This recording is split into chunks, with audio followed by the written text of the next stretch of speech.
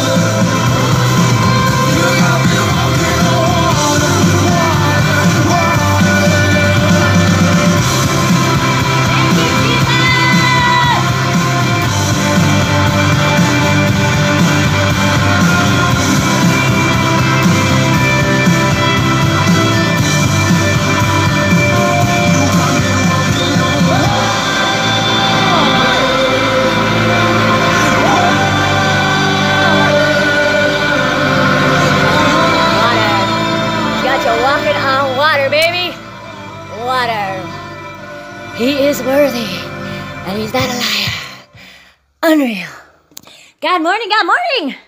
Praise the Lord, amen. God morning, everyone. Ah, I love Jesus, and he loves you. So, we're going to learn a little bit about him today. Whew, it's April 15th, that wonderful tax day that we all really enjoy. But hopefully, you are being blessed this tax season and getting a return, refund, instead of having to pay. So let's pray and see what the Lord has to say about taxes. Heavenly Father, thank you so much for a beautiful day. Another day of life. Another opportunity to get to know you and get our lives right. Father, you bring such joy into my heart, and I'm thankful. I'm so thankful for you, Father. Thank you for my forgiveness, your mercy, and your grace. Father, I ask that you're with those who are watching now and later. Let them know who you are. Let them know how much you love them. In Jesus' name we pray. Amen and amen. Okay, so if you're new to me, my name is Diana Hernandez, and I am, oh goodness, my hair. I'm a girl that, you know, looks halfway decent sometimes. Other times, not so much. But I don't really care because I want the focus to be on the Lord. So today we're going to be looking at Matthew 22 17. Well, let's just do 20, Matthew 22 15, okay? Paying taxes to Caesar. Then the Pharisees went out and laid plans to trap him, meaning Jesus, in his words. They sent their dis- disciples to him along with the Herodians. Teacher, they said, we, we know you are a man of integrity and that you teach the way of God in accordance with the truth. You aren't swayed by men because you pay no attention to who they are. Tell us then, what, are your, what is your opinion? Is it right to pay taxes to Caesar or not? But Jesus, knowing their evil intent, evil intent, he knows them, said, You hypocrites! Why are you trying to trap me? Show me the coin used for paying tax. They brought him a denarius and asked him, Whose portrait? And he asked them, Whose portrait is this? And whose inscription? Caesar's, they reply. Then he said to them, Give Caesar what is Caesar's, and to God what is God's. When they heard this, they were amazed. So they left him and went away. Give to Caesar what is Caesar's, and to God what is God's.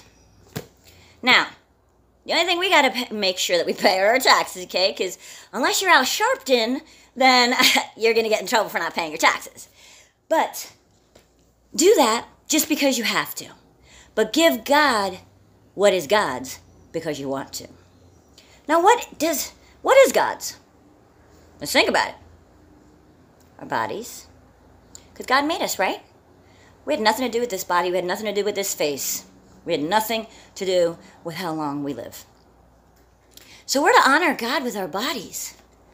The bo- our body is where the Holy Spirit resides. Okay? So if you're sitting there and you're putting alcohol or drugs into your body, you're poisoning your body. If you're eating fattening, greasy food that's unhealthy, you're poisoning your body with disease and unhealth. And that's not fair. The Holy Spirit lives in you. You don't want him living in the ghetto, do you? Not even the people who live in the ghetto live, want to live in the ghetto, right? So why are we doing that to the Holy Spirit? So honor your body by drinking water, having fruits and vegetables, nuts and seeds, things of the earth. Try and do organic if you can. I know that's really hard for some of us because it's expensive. And you know, I ain't claiming to eat organic, you know, but I try to eat a lot of fruits, fruits and vegetables. I try to avoid pork, although it's awfully so tasty. But I did see an article.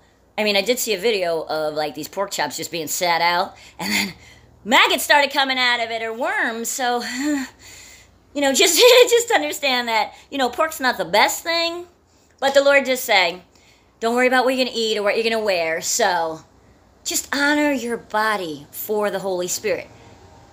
Number two, give God your family.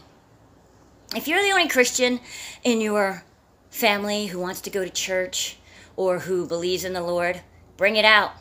Uh, every time I go to family events, I'm speaking about the Lord, about what how He's blessing me. I pray for others. We pray before eating. Thanksgiving, I always give the the prayer.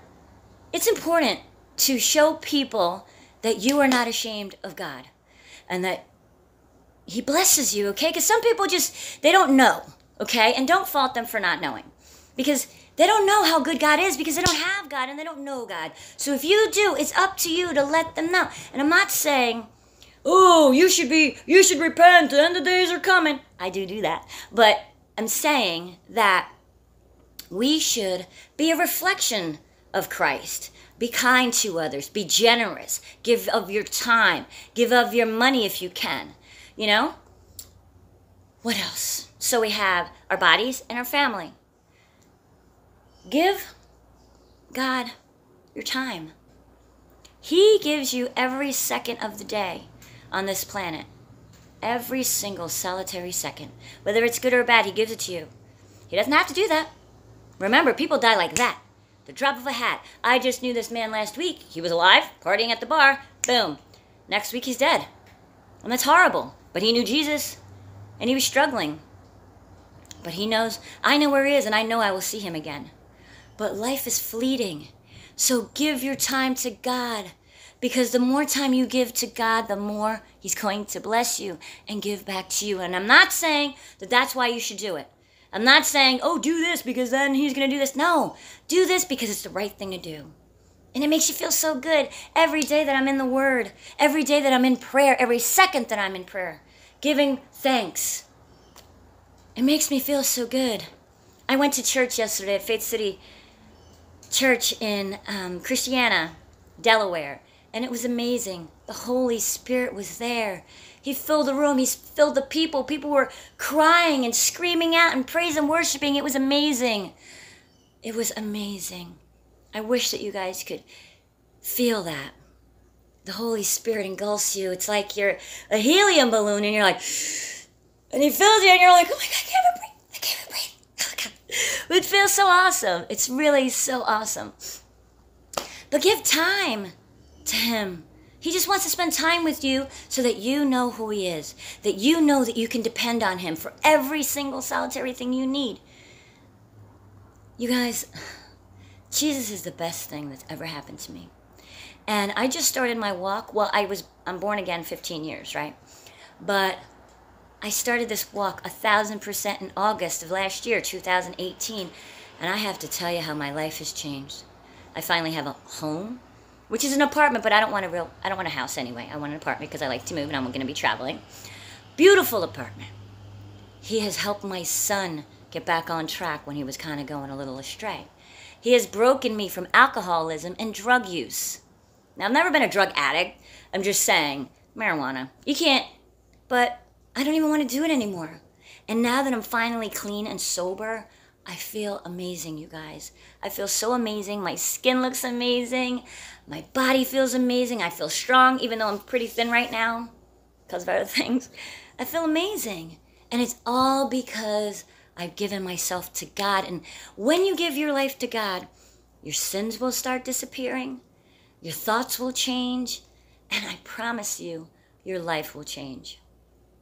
So, just like you give Caesar what is Caesar's, give God what is God's, which is your time, your family, and your body. Give him everything you have. Give him your knowledge.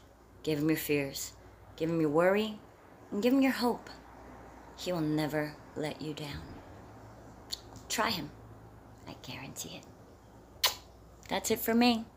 I hope you're enjoying my show. If you are, give it a thumbs up. You can follow me on Instagram for a lot of cute pictures and on Facebook when I'm back on Facebook May 5th or May 8th. Um, but if not, I'll always be here on YouTube. Have a wonderful day, and remember, be blessed and be a blessing.